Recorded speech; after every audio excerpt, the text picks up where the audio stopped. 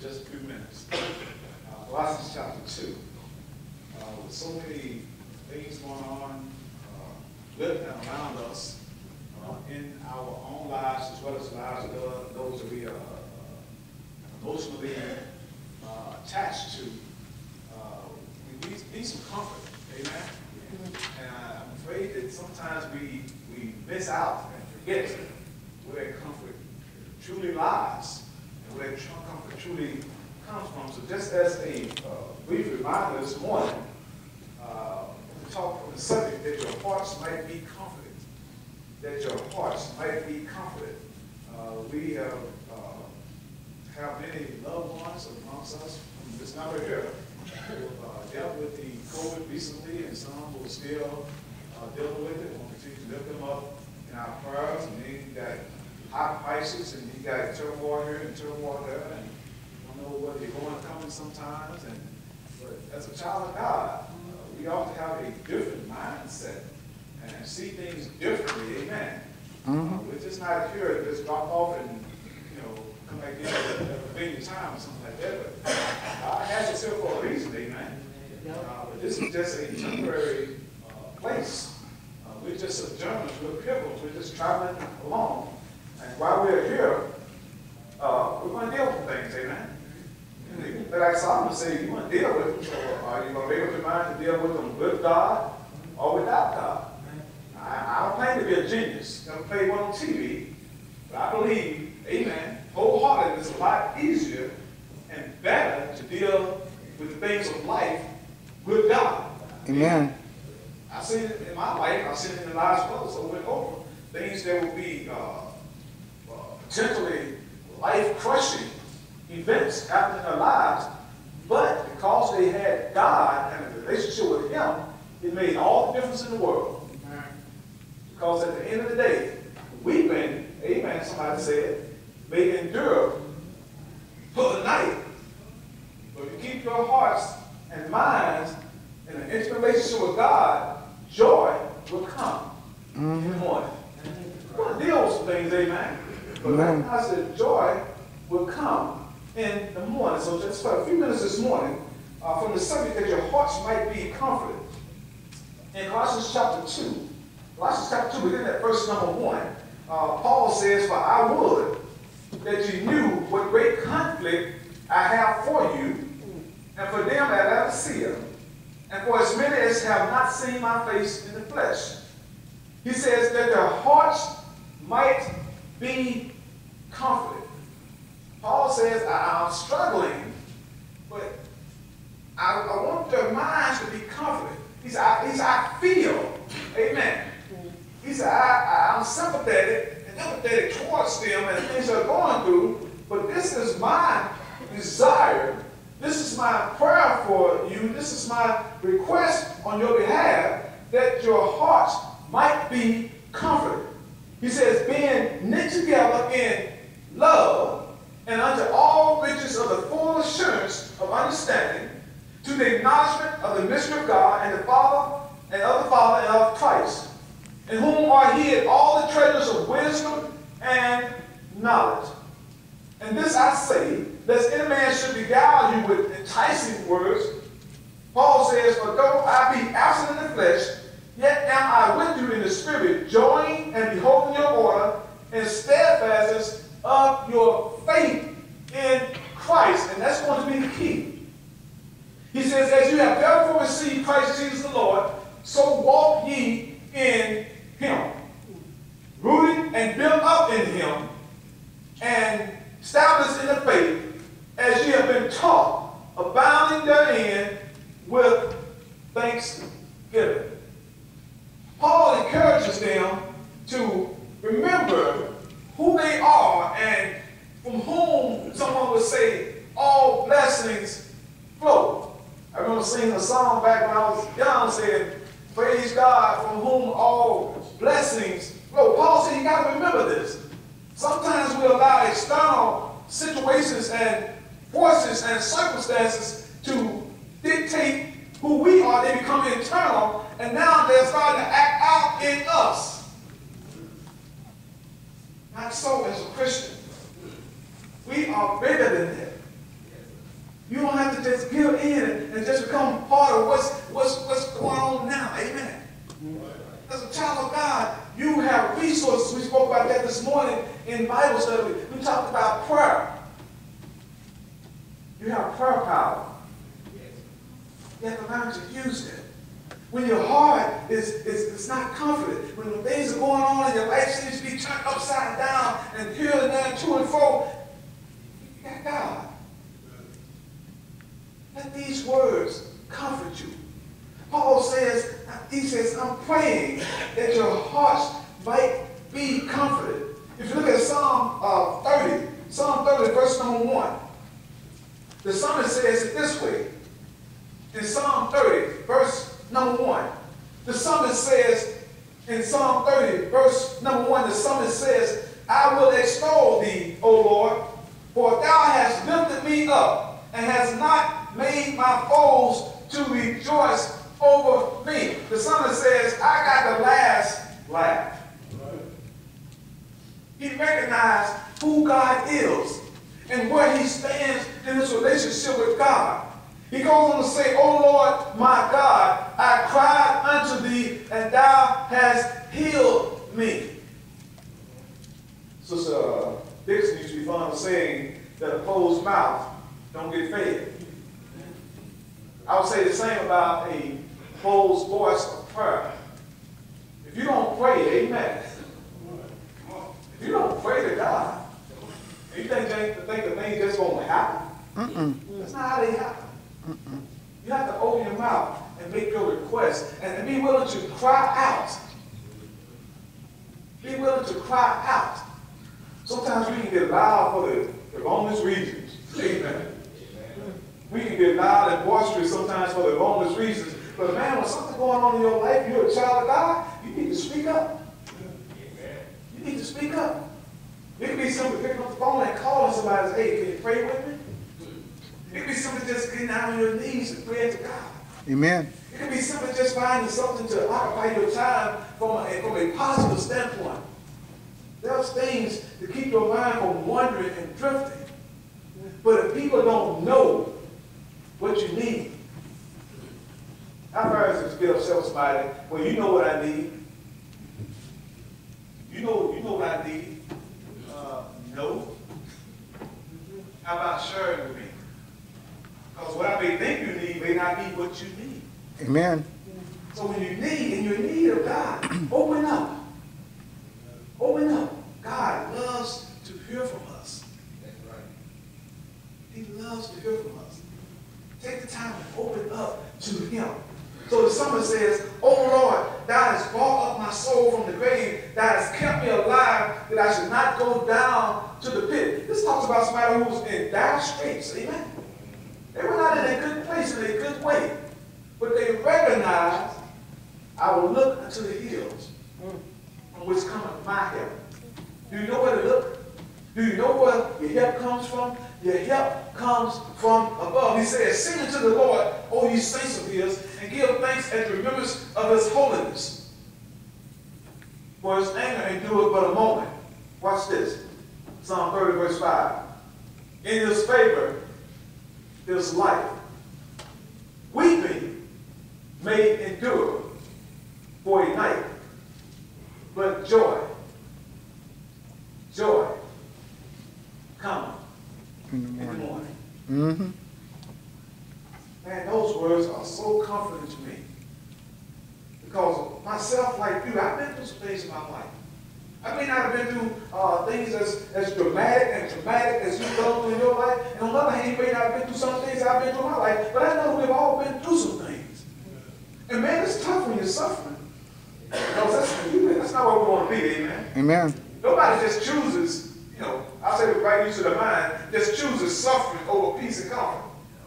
But when those times do come, recognize that they're just for a moment. When you have the right relationship with God, you recognize that they are just for a moment.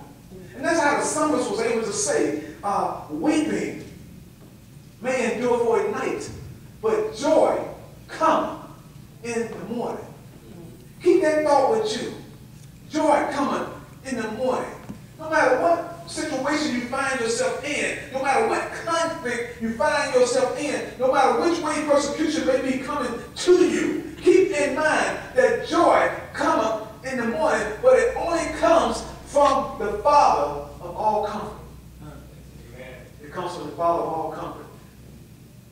Can't nobody do me, somebody said like Jesus. Can't nobody do me like the Lord. So when it comes to the, the subject of comfort,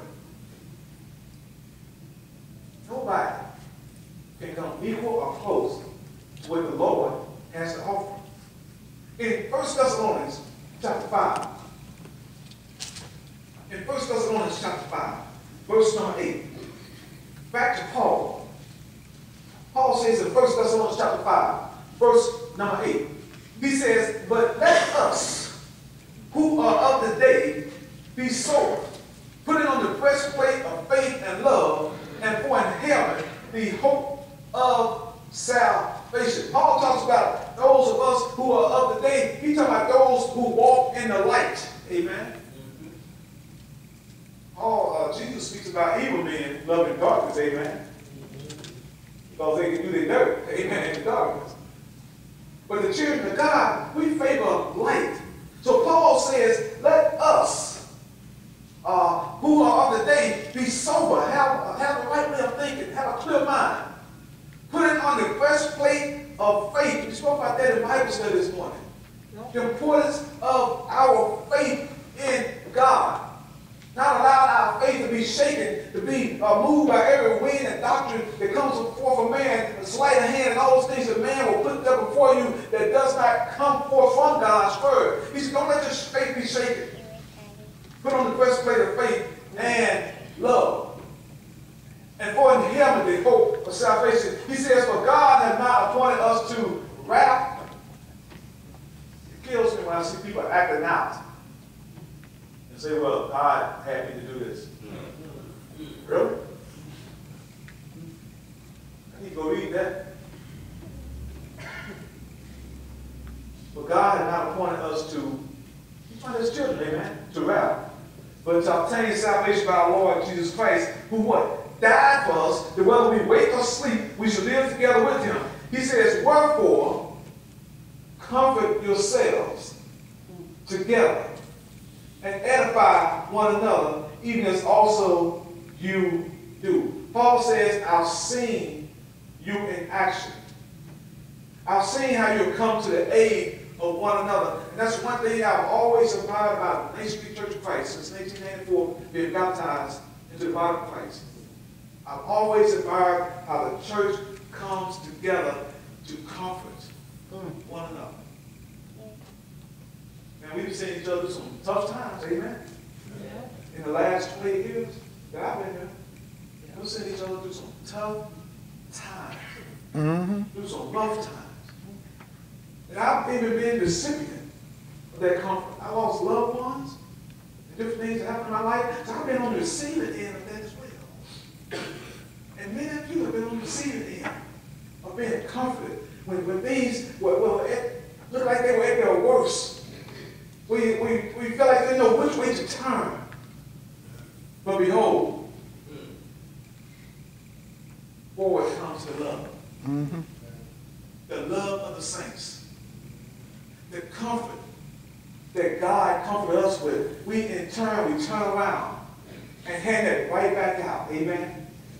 To someone else who's struggling with an issue.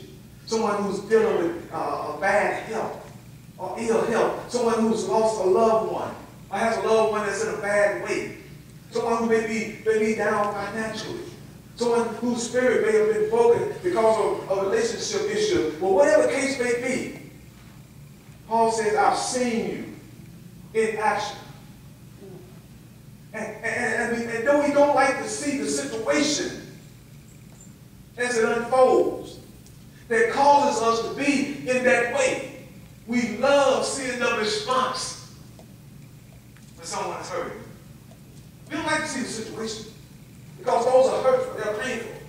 But the response put forth, the comforting that comes from the brothers and sisters, those who are like-minded, those who have a mind to say, but by God's grace, this could be me.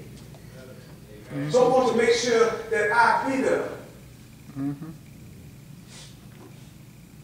think it's a bad testimony on us when we're never there to comfort someone else. But in time of comfort, here is everybody come to our aid. But at the same time, we're never there to offer that to anybody else. Hmm. You don't know what you're missing out on. God is a giver. Mm-hmm. Jesus says more cheerful to give than to receive. Amen. You don't know what you're missing out on when you're not there to offer or give comfort to others. And in many cases, it just knows we choose not to be sad.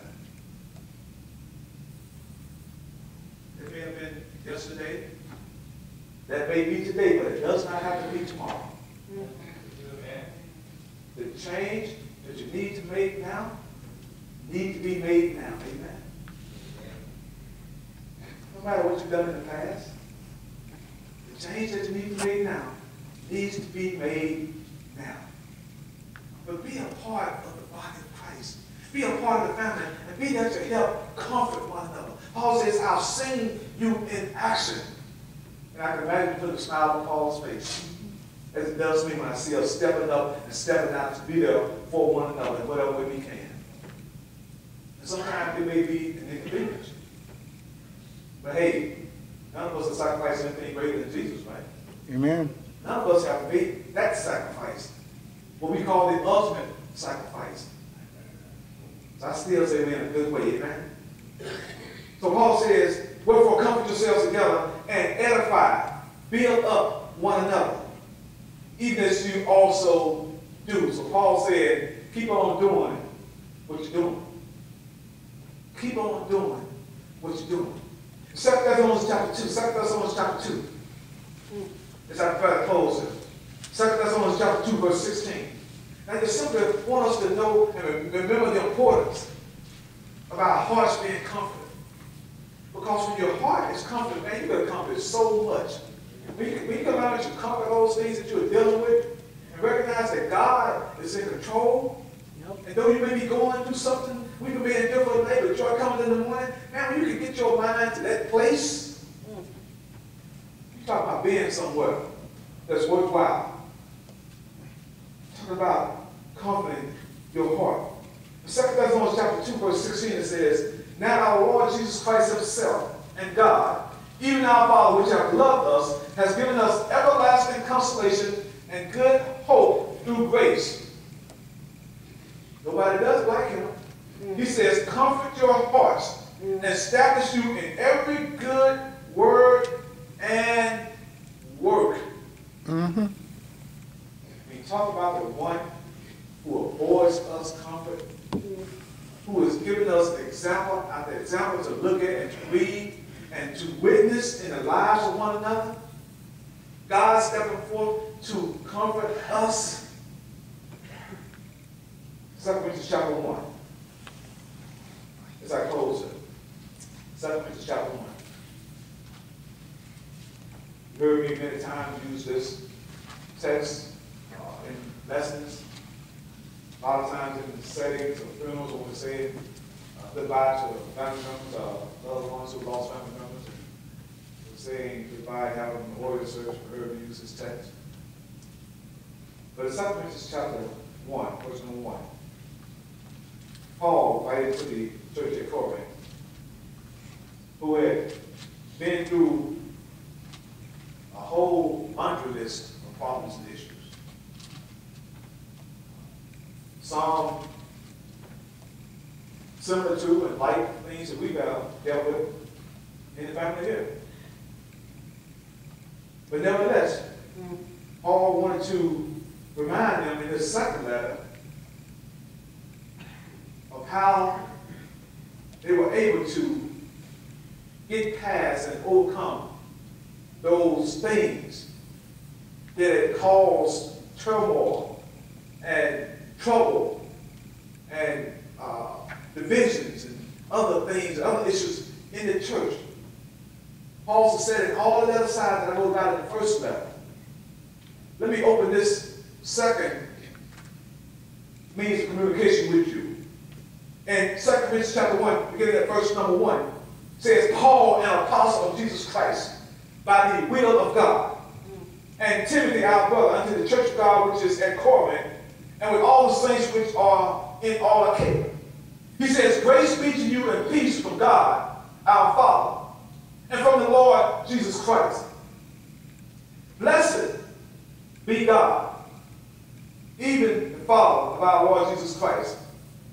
Not only is he the Father of mercies, recognizing that mercy, that word mercy, uh, means that one does not get what they deserve. And what we truly deserve, based upon what was done to the Son of God, Jesus Christ, we deserve that. For what our sin did to the Son of God, you and I, we're going to be honest, truly deserve that. Amen.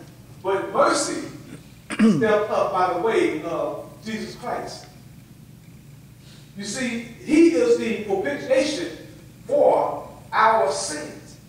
He is the one through whom God channels that mercy. Only through him. No one ever else ever referred to as the propitiation for my sins and yours. Only Jesus Christ, the one through whom God shows mercy, which means that we didn't get what we deserve because of Jesus Christ. His love for his son allows him to channel that mercy to us. So Paul says, Blessed be God, even the Father of our Lord Jesus Christ, the Father of mercies, and the God of all Comfort. what we need, Comfort. comfort. What's missing sometimes in our lives? Comfort. Sometimes we've been in pain so long that we don't even recognize comfort when it comes. We don't even recognize comfort when it comes. Growing up with some children, uh, they were falling to put their shoes on the wrong feet. And then when pointed out after working on the wrong feet for so long, they put them on the right feet, Jamie. They say they don't feel right. they don't even recognize comfort. Because they have been in a situation for so long. That's how we are sometimes in our lives, you and I. Mm. And we don't even recognize what comfort feels like, and looks like. But let me say this as I close. The God of all comfort. It says in verse 4, 2 Corinthians chapter 1, verse 4, who comfort us in all our tribulation. And all of those things that have gone in your life, going in your life, and you seem like it was just, it seemed like you was in a car going down the hill, headed for a cliff, with no brakes and no steering wheel. It was just a matter of how quick will it be over. Because you felt as if there was nothing that you could do. You couldn't stop it. You couldn't stir it. You couldn't turn it off. There was nothing you could do. And we have found ourselves, well, maybe on today, just Brother Bishop have, hmm. in situations in life like that, that you didn't know what to do. Hmm. But Paul says, there is one.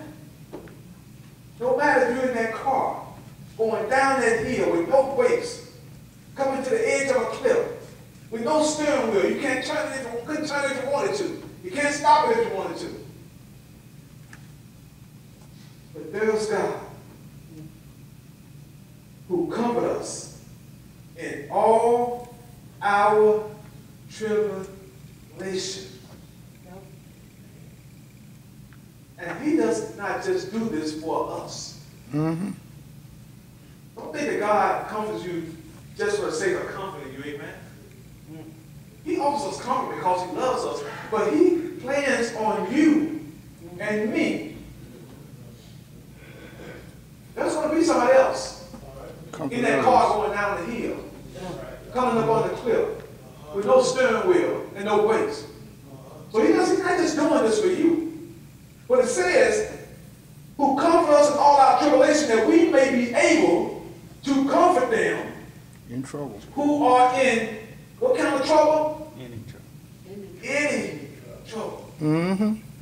Someone asked a question, is there anything too hard? Brother Ty, is there anything too hard Oh, God. for Nope. God? Nope.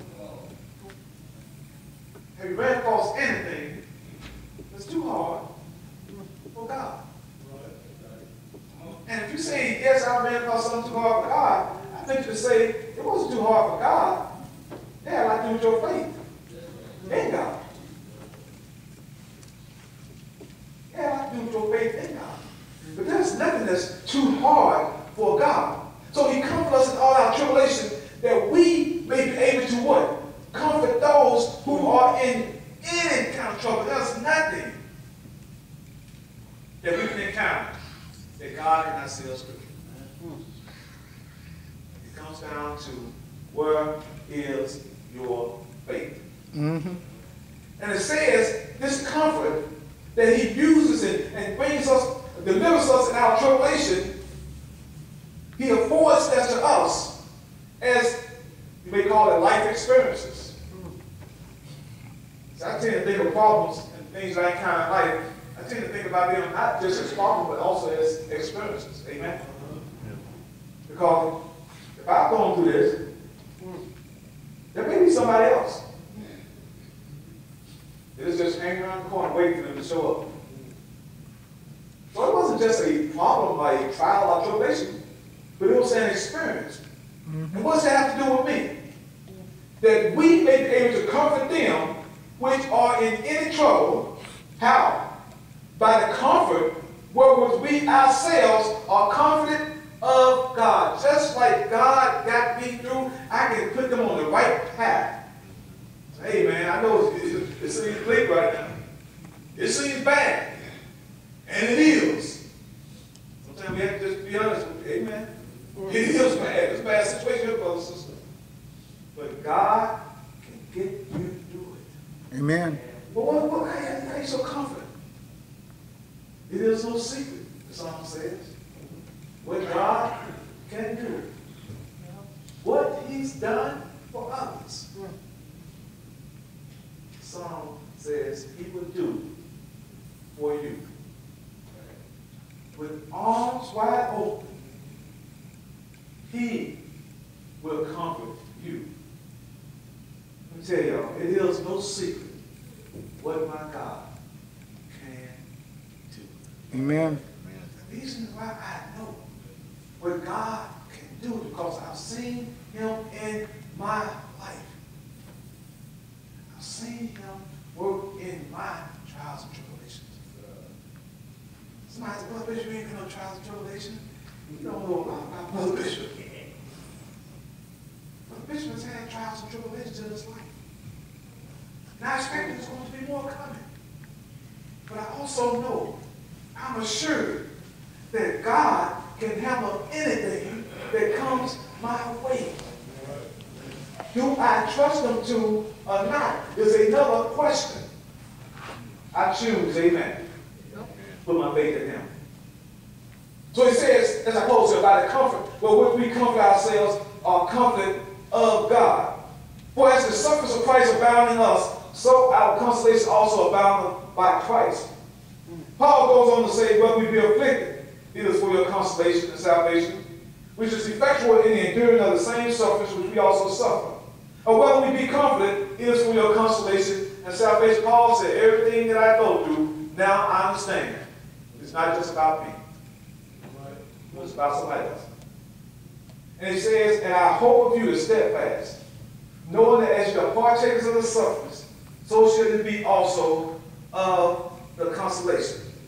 Let me turn over here real quick. Let me close this out.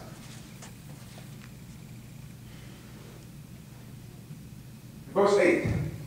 Subject chapter 1, verse 8. For we would not, brethren, have you of our trouble, which came to us in Asia, Sometimes people try to put forth that, I call that Facebook life.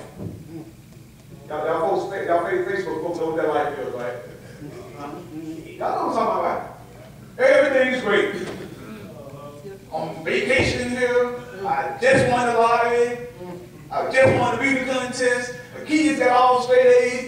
This one made the football team. That one, Facebook life. That's not life. Oh, that person don't show you everything. Now, some of them show you too much. Amen. That's not life. Because Paul helped us understand. He's an apostle. Paul said had troubles. Paul says in verse 8, 2 chapter 1, verse 8, But we would not, brethren, have you ignorant about trouble. Paul I ain't got no Facebook life. Paul I ain't gonna try to sugarcoat it. We would not have you ignorant about our troubles that came to us in Asia. That we were pressed, Paul says.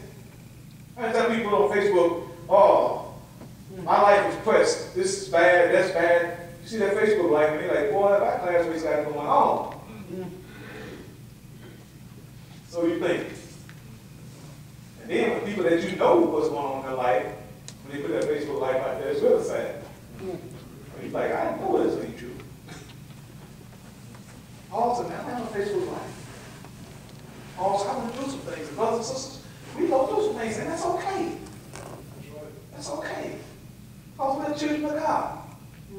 And when we go through something, let us glorify God by how we handle what we're going through. Mm-hmm. In quicksand. Hmm. Ain't that stick up a one tip of your finger. I'm still believing God got me. Those kids said with the tip of your finger, God got me. This kind of confidence I'm talking about having in God, the kind of faith I'm talking about having in God. But Paul said, yeah, i'm went through some things. Press God to make a bow strength, just so much that we despaired even of life. But I'm sorry somebody had a good time. Hmm.